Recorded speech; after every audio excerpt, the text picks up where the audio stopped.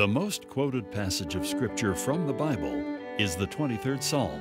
In Carol Lynn Pearson's new book of inspiration, mothers receive encouragement in their efforts to shepherd a few dear lambs of the flock. The sweet, still waters of home helps women better experience their divine work, the perfect gift for mothers. Pick up your copy today.